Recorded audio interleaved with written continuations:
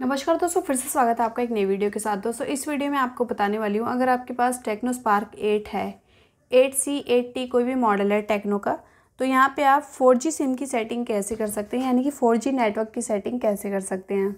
तो इसके लिए आप यहाँ पर चले जाएँगे सेटिंग पे। सेटिंग पे जाने के बाद यहाँ पे SIM card and mobile network का ऑप्शन देखने को मिलेगा, आप इस पर क्लिक कर लेंगे तो यहाँ पे आपको सिम वन सिम टू का ऑप्शन देखने को मिल जाएगा। तो यहाँ पे सिम सेलेक्ट कर लेंगे जिसमें आप सेटिंग करना चाहते हैं। तो इसके बाद इस टाइप से ऑप्शन आ जाएगा। बाकी ये आपको ऑन रखना है, ये आपका ऑन रहना चाहिए। रोमिंग आप एक्टिवेट कर सकते हैं अच्छे नेटवर्क के लिए। और इसके बाद फोर जी नेटवर्क आपका ऑन करेंगे।